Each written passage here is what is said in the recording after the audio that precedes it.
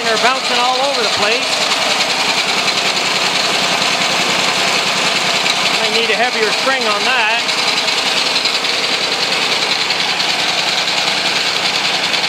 My gas tank vibrates too.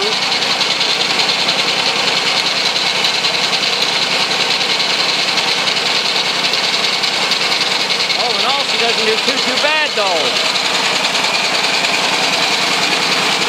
Some reason it wants to vibrate the throttle open or rev it up. There go.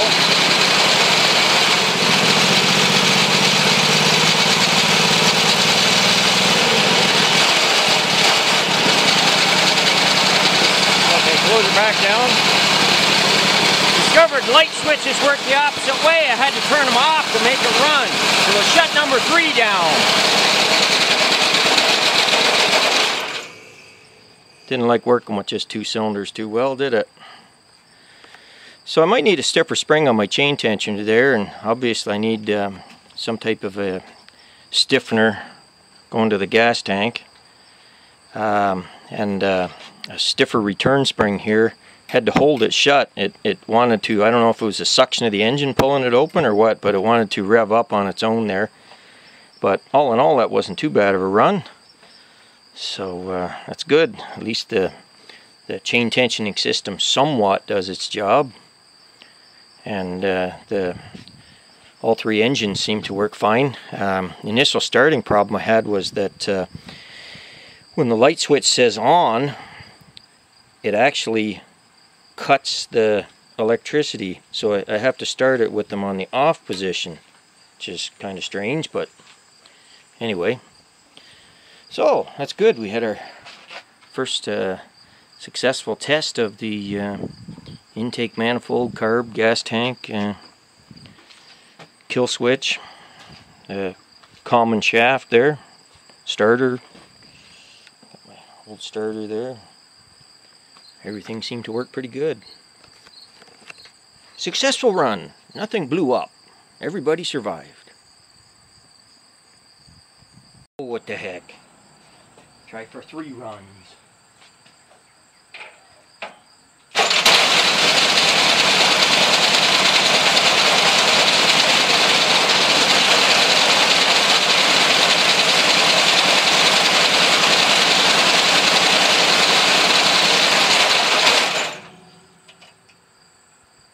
yeah, guess I didn't totally refill the carburetor. But it literally starts like quarter second after I hit the starter. So, a good running engine all in all. So, just getting ready for the engine start up here. Uh, trying to uh, run three cylinders there on the upper left bank. Bend down here so you can see the eventual plan is to have an H24 here uh, three deep with uh, four rows of motors or cylinders, what have you. Yeah, I got my three uh, on-off switches there to cut the spark. We got our uh, one carburetor and common intake manifold, which I know is far from ideal because it goes straight in one and the other two have very long runners. But we'll see how that works out. That's why I'm doing a test here with just one of the four banks my gas tank there with uh, two outlets and uh, then I would tee it here to run to the bottom carburetor and then same thing on the other side so I feed four different carburetors from the one tank there.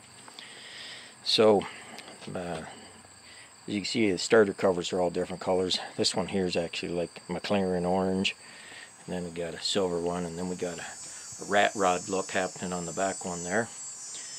The problem is I got like 400 small engines and probably half that many starter covers so to have 12 starter covers I'm I'm fighting here so anyway we'll uh, we'll get ready for uh, for a run here.